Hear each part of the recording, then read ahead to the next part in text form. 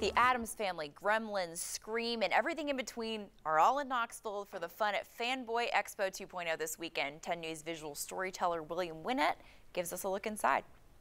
Hi, Mom! Hi, Mom! Welcome to Fanboy Expo! When you were a kid, being a nerd was frowned upon, being a geek was frowned upon, and now we've kind of built our own culture where you can be a geek, you can be a nerd, and we kind of create a place where you can come and gather and do fun stuff, but it's not just geeks and nerds and, you know, the outcast people. People are accepting now, and it's okay to say what you like and what you don't like, and, and all come together and do that in one place. You look amazing. Well, thank you!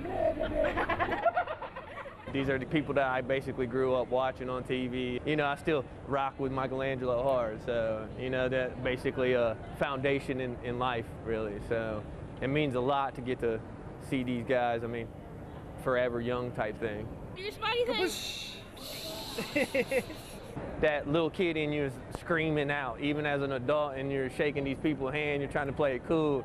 That little kid in you screaming like, "Oh my God!" It's the kid in you, and and no one really wants to be old. Nobody wants to grow up. So I mean, this keeps you young.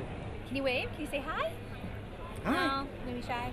We love coming in and being able to bring, um, you know, popular TV stars and movie stars and vendors all together in one place for one big event and build the community, the nerd community is what we like to call it, and uh, we just love it.